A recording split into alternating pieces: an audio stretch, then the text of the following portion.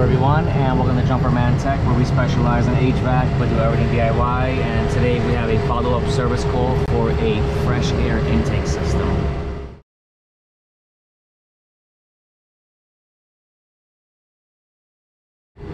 Thank you to everyone tuning in to Jumperman Tech.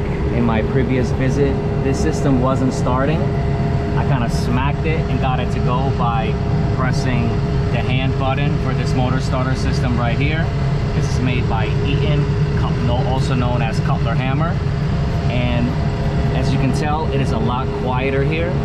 This unit itself was making crazy noise. And the starter itself was making crazy noise and I'll show you guys a video.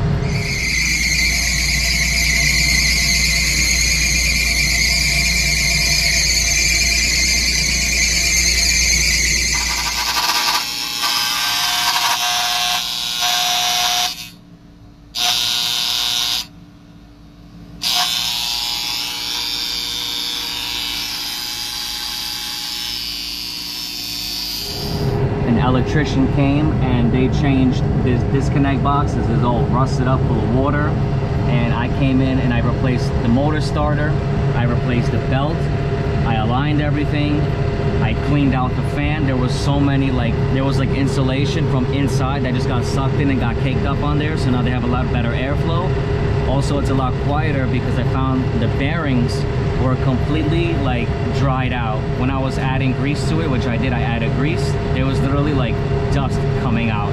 But anyways it's a lot quieter it's a lot better. But one thing is that when I changed this motor starter right for some reason it didn't come. These little overload heaters.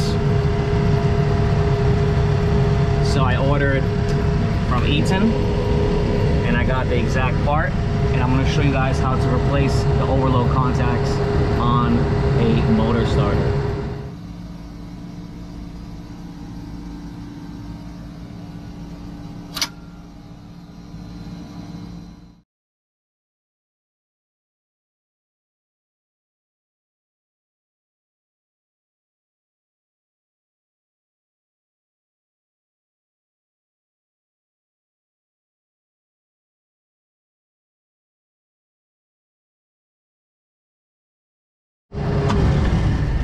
Turn this off and let's kill the power. We also have a little flathead here. Let's loosen that up and try to open up this cover. There we go. Here's the motor starter that I changed. It's an exact replacement came with the contactor and this assembly here to hold the heaters but for and with the adjustment but for some reason it didn't come with the three heaters itself. This is a three-phase system. The wiring is nice and neat. I even found some systems uh, some wires like this one. It was just taped off. It was a whole mess. So what I'm going to do is I'm going to show you how to replace these heaters without replacing the whole motor starter. Sometimes they go bad. The reason I'm changing them is because I had to take out the old ones from the old motor starter and if you're changing all of this and we got this unit revived it only makes sense to have everything new here. This is what the overload some people call them heaters looks like. It's very very simple to change. Definitely want to upgrade don't want to leave a couple old things with something new. Over here the box is old but it's all about what's what's on the inside. You know what they say when it comes to personality and relationship it's what matters on the inside right so basically in car terms we got a sleeper here. We got an old body but everything inside is nice and neat and clean. So i'm to show you guys how to replace this. First things first let's put the system on volts. Power comes from up here. Let's just confirm there's no power coming in. Nothing nothing nothing. Wherever i tested you would have 208 across each two legs or you can go from one leg to let's say ground. This will be a little clearer. Basically a terminal to metal. You're good to go. Make sure you have a good ground as well. All right so we proved we have no voltage so now we are safe to work. And i'm going to show you just how easy this is. All right you actually don't need to disconnect any wires. There's two phillips screws So you're just literally gonna loosen those up. Okay. This is the same exact one, so you don't have to worry about anything. Look at that, two screws and it's out. They definitely look a bit rusty over here. Ooh, and they're definitely hot. Definitely uh, time for something new. There's no reason to not change all that. Couldn't find this box for 24 volts, but hey, listen, this thing is making a world of a difference. These are all the same, so we're just gonna loosen up the two screws for each one. And we're gonna pull it out. Okay. And one more. Sometimes these burn out they fail but the motor starter is actually still good. So this is something you want to check make sure you got continuity across right? They're open. You know it's done. And sometimes this is your problem so you could just change that. You'll be to go good to go. So we're going to change all these which looks like there was some water damage. And we're going to put in three new ones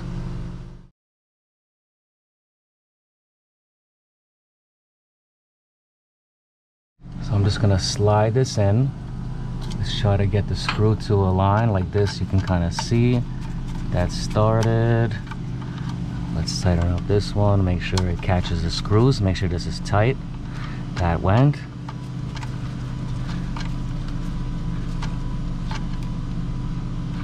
Alright, nice and snug, don't go crazy. And we're off to the next one. Very, very simple. Make sure the screw lines up there. Let me tighten it down, just do a little bit so then the other side is even. Okay. Oops, is that tight? Oh, now it's going in. Yeah, you want to make sure everything is nice and tight and snug and everything is in. Loose connections create high amperage. You don't want that. All right, one more.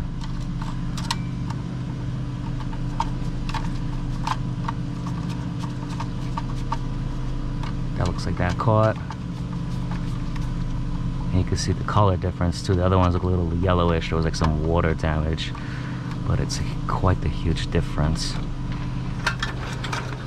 that is awesome so as you can see I don't know if you can see but there's a bit of a quite color difference this all matches now and they're gonna be good to go all right just gonna put this cover on okay. Switch to our flathead.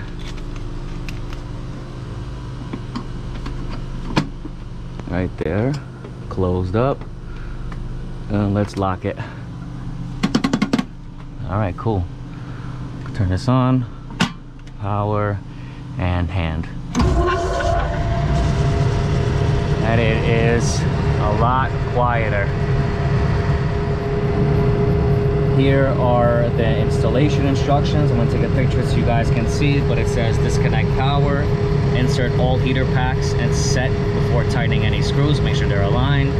And it says no three heater packs. The same number must be installed with the overload relay. So here's your housing for your this actually your overload relay and over here this is going to be your heaters your overloads so that's pretty cool. I'm gonna take a picture so you guys can see.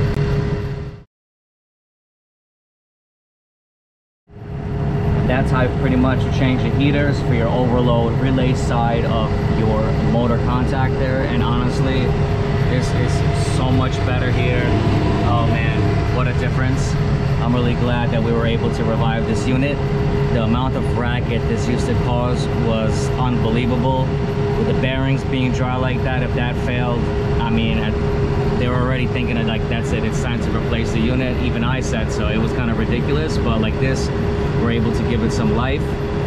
And yeah that's pretty much it. If anyone found this video interesting or helpful please drop a like comment and subscribe as i come out with new videos every week. I'll catch you all next time